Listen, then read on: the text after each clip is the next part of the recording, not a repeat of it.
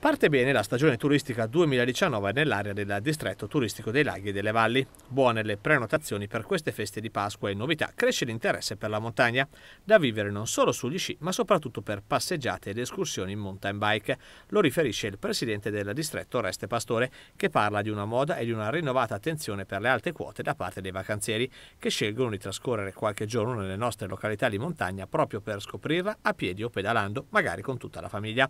Questi turisti sono soprattutto italiani ed arrivano dai nostri classici bacini nazionali di riferimento, le principali città lombarde e piemontesi e il loro Interland. Ricordiamo che restano comunque aperte alcune delle stazioni sciistiche del comprensorio di Neve Azzurra, San Domenico e Moro e Burchi Belvedere per la discesa, Riale San Michele in Valle Formazza per il fondo, rimpinguate peraltro dalle recenti nevicate.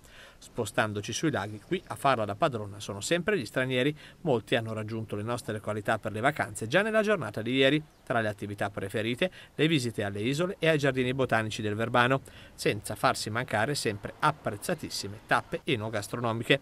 Dal distretto riferiscono dunque di un'occupazione positiva delle nostre strutture ricettive per Pasqua e anche per i ponti del 25 aprile e del 1 maggio, con una collocazione delle festività particolarmente favorevole.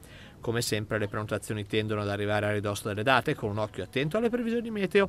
Gli esperti spiegano che nel nostro territorio in questo lungo weekend ci sarà il sole accompagnato magari da qualche nuvola passeggera, in particolare a Pasquetta.